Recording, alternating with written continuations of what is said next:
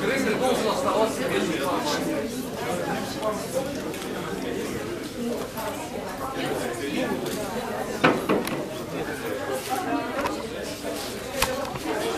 Давайте то я вечно как комиссар с а, с планшеткой. А Сережа, да? Ну, раз уж так получилось, что и вы тут присутствуете, пару слов, впечатлений, может быть, Впечатления очень положительные. Сугубо Сережа молодец, э, прекрасно отвечал на не самые простые вопросы.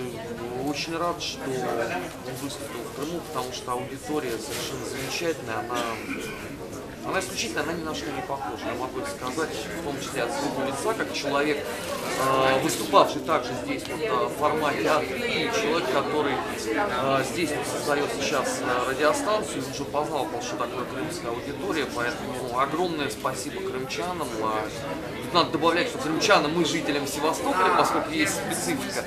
А, Я надеюсь, что это не последняя такая прекрасная встреча, организованная форматом А3. Коллегам огромный респект и уважение за все то, что они делали раньше и делают сейчас, потому что действительно Крым э, долгие годы был изолирован от э, достоверной правдивой информации, к огромному сожалению, того, что происходило в России. Формат А3 это был э, глоток чистого воздуха. Я надеюсь, что эта история будет продолжаться. Я надеюсь, что мы э, продолжим наше сотрудничество. Теперь вот уже мы здесь сделали э, «Голос России» в Крыму, и сегодня у нас вот э, Сережа как раз был э, в утреннем эфире. Я надеюсь, что эта э, традиция прекрасная продолжится, и все будет хорошо. спасибо. И, может, поподробней о, о вашем как бы новом проекте «Голос России в Крыму» и так далее. Может быть, в раз- ну, как реклама, да, я вставлю там. Голос, Подойдет, да? «Голос России в Крыму», да, старейшая российская э, вещательная государственная радиокомпания с 1928 года работает. А вот с 1 августа мы запустили здесь в Крыму новый информационный продукт э, «Голос России в Крыму», первое информационное радио, пока 2 часа утром с 8 до 10 и 2 часа э, днем с 16 до 18. Крымский журналист, это принципиальная для нас история. На радиостанции работают только крымчане, только э, местные, московские коллеги. Мы приезжаем сюда только помогать, инструктировать, там, давать какие-то мастер-классы. Потому что мы понимаем, что доверие аудитории будет только тогда, когда аудитория будет знать э, тех людей, которые работают на радио. Мы счастливы, что нам удалось привлечь лучшие на сегодняшний день э, журналистские э, кадры, которые находятся на радиосегменте э, Крыма и то, что аудитория вот уже 4 дня слушает и активно участвует в эфире, это прекрасно и лишний раз доказывает, что существует определенный информационный голод до сих пор у Крыма по достоверной информации. Я надеюсь, что суммарно вот э, все мы, коллеги, которые э, здесь работают на крымском э, медиарынке, сумеем, во-первых, удалить этот информационный голод, во-вторых, сделать все возможное для того, чтобы э, Крым э, как можно быстрее почувствовал себя действительно интегрированным абсолютно в Россию, потому что не секрет, что у нас там как бы давно есть подобные продукты. В Крыму этого не было, вот сейчас мы это дело исправляем, это все для Крыма. Крым ваш, что называется. Ну и последний вопрос. Э, Может быть, какие-то еще перспективные проекты со стороны Большой России по интеграции как бы местного медиапространства, да, На самом нечто деле, на такое самом большое. деле пл- пл- планов абсолютное громадье, потому что каждый день буквально вот мы обсуждаем э, с коллегами те новые проекты, которые нам бы хотелось бы сделать, потому что они не только э, условно в сфере журналистики, они и в сфере просвещения, потому что вот э, Наше бюро здесь уже проводило выставку м, 22 июля. Она открывалась э, в Севастополе на Михайловской батарее. Сейчас она, кстати, должна на днях приехать в Симферополь. Потом она в, э, Феодосию поедет, ее покажут по центру по всему э, полуострову. Плюс э, в августе, по-моему, мы запускаем здесь джаз Кочевель фестиваль. Существует, в общем, э, масса проектов. Мы хотим, э, мы пришли э, в Крым се- серьезно надолго, и мы хотим сделать все возможное, э, чтобы э, крымчане э, почувствовали, что те 23 года, когда они находились вне России, э, это страшный сон, который больше никогда не повторится. Мы верим, что Крым и Россия действительно, как вот слоган, который был в конце февраля, в начале марта, вместе. Спасибо. Спасибо. Ста- стараться и дальше продвигать эту историю. Вот в среду мы будем писать программу с крымским историком, известным Олегом Романьковым. Хотим показать просто а, всю эту палитру Крыма под немцами, то, что я делал в свое время. Когда Крым, собственно говоря, а, прошел референдум, я делал программу вот отдельно, там, а, «Остров Крым», да, так, так называемый. Эта программа «Крым под немцами» весьма очень Да, вот мы, мы хотим Она э, по- показать просто, время да, все, все связь. вот это, потому что ни в коем случае это нельзя э, забывать э, и делать вид, что э, ничего этого не было.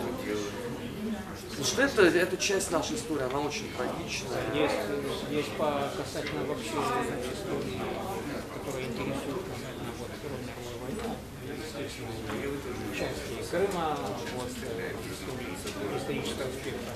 Ну, мы обязательно будем рассказывать. Это, Какие есть вопросы касательно того, предполагаете вы помимо такой вот деятельности, как радиоприемники сейчас идет, предполагаете ли вы возможность дискуссионного клуба, а, вполне возможно. скажем так, поли, Вполне возможно.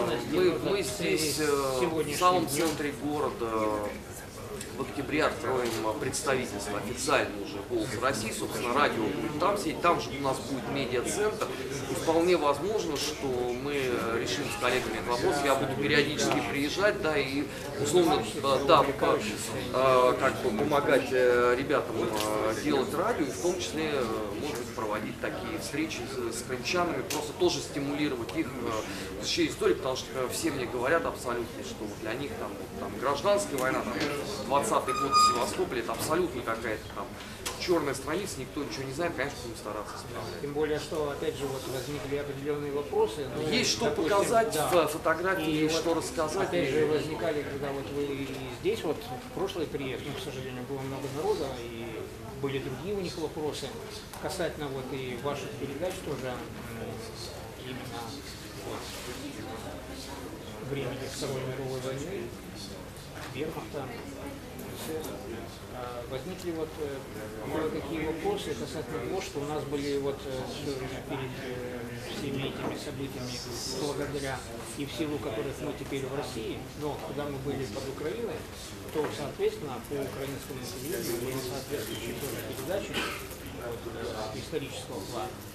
Ну и там, например, человек э, конкретно говорил о том, что приводил пример, что полтора миллиона русских людей бывших советских были в войсках нет, это не войска Вафена. 500 тысяч донских казаков. А, нет, это суммарно миллион двести тысяч, но мы здесь должны понимать, что это не только русские люди, а Ну, это он, вообще делал, все. он там делал э, Ну, он, статистику он- он- примерно он- он такую. неграмотный. Это имеется в виду абсолютно все народы, включая калмыков, русские, татаров, грузин, армян, азербайджанцев. четверть, четверть украинцы, Нет, нет, а это, вся это- остальная четверть, все остальные. Нет, э, это, это на самом деле это очень лукавая статистика, конечно.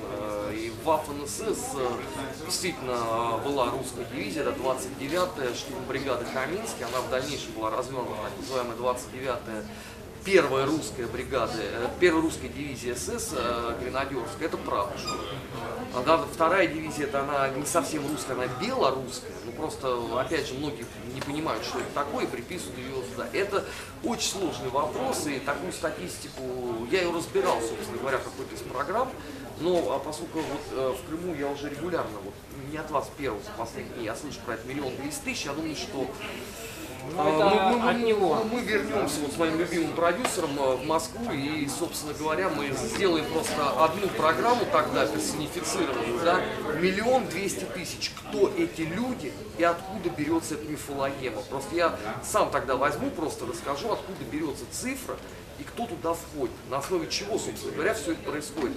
Но это, по сути дела, фальсификация мифологема такая. Она очень популярна. Про Я знаю даже лично, тоже заворачивал, что Я как знаю лично человека, как- взял который, Севастополь, то собственно, 10% людей севастопольцев сразу же в полицию, в СС пошли служить. Это- Я лично знаю человека, который и придумал это вот определение миллион двести тысяч. Я, я знаю даже, при каких это происходило обстоятельствах и ради чего это делалось. Вот, значит, будет внесена Да, ясность. да. Замечательно. То есть, значит, в ближайшее время будут Да, такие бу- бу- передачи. такая и, программа, так такая, такую программу мы можем обещать заранее. Она, видимо, мы ее сделаем к 1 сентября, годовщина начала Второй, э, Второй мировой войны. сделаем вот это, миллион двести тысяч, потому что на самом деле отчет идет с сентября 1939 года. Многие просто этого не знают. Абсолютно Потому верно. счит- считают, С 1 опять же, сентября 39 считают русских э, в вермахте, но не считают при этом русских э, в польской армии.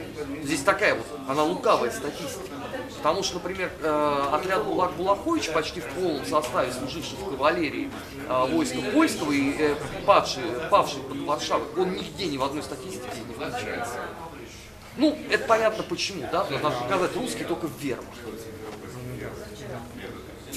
Такая программа будет, это обещаю. Ну что ж, вам творческих Спасибо. Всего доброго. Пойдем, Николаевна.